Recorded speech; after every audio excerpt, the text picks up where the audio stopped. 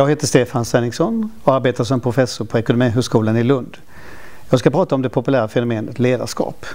Ledarskap sägs ofta vara avgörande för organisationers utveckling och framgångar. Och årligen så utbildas åtskilliga människor i olika ledarskapsprogram och ledarskapsutbildningar. Nu blir det inte alltid som man har tänkt sig. Det finns mängder av förhållanden i organisationer som på olika sätt sätter käppar i hjulet för möjligheten att utöva ledarskap på ett meningsfullt sätt. Det blir mycket snack och lite verkstad.